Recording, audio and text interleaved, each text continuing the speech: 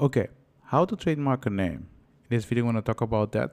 If you're new to this channel, seriously, subscribe. Subscribe, just press the subscribe button. And if you uh, like this video, like it, seriously, like it. So we're going to talk about trademark, how you can trademark the name. Important part is of trademark is you need to know how to find the trademark rules. So I cannot tell you exactly what you need to do, but technically you need to look it for yourself. If you look it for yourself and you know how it works, it's going to be much easier. So when you want to register a trademark, it's important to know what are the regulation in my country or where I am active. Let's say if I'm living in Europe and I'm active in, let's say in America, I need to know the rules about in America. It's that simple. So your biggest question is, how do I find the rules? That's why I'm going to talk about that. When you know about where you can find the rules, you will see automatically on the website how you can trademark. A lot of people will write a lot of general article. Doesn't help you. Seriously, it doesn't help you. If you have problem with choosing the country where you're active, feel free to join the Discord, go to Texas channel, and then we can help you or not. We will tell you if we can help you or not. So our main goal is to find the rules. How can we find the rules? Right? So it's it's not that difficult. What you can do is you can just go to wipo.int, yeah, international means that if I'm correct. So you go here, WIPO, you look for member states. Look if your country is here. If your country is here, that's good.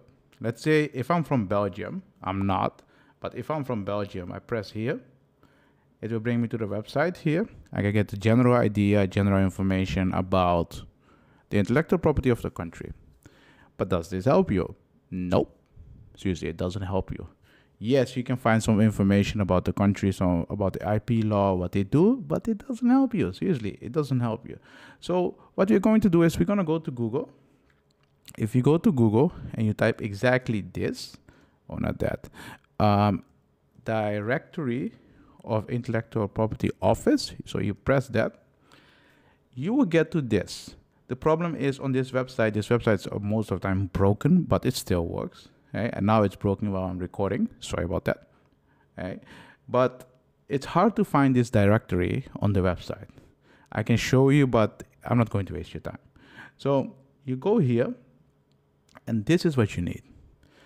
Why is this important? Here you will find exactly in which country what what AP, um, IP office you have. Let's say if I'm from Albania copyright office, I can see it here and I can go exactly to the website. And this is something you need. Why is this important? And why did I choose Belgium at the beginning? So if we look at Belgium, where are you, Belgium? You see here, you have Belgium Intellectual Property Office, and you see here the website. And this is technically what you need. If you go for the Netherlands, you will see they have co colony. See the Netherlands, and you see you have a lot of uh, copyright office. You see here, colony copyright office, St. Martin copyright office, and the others one. So here you will find the general information.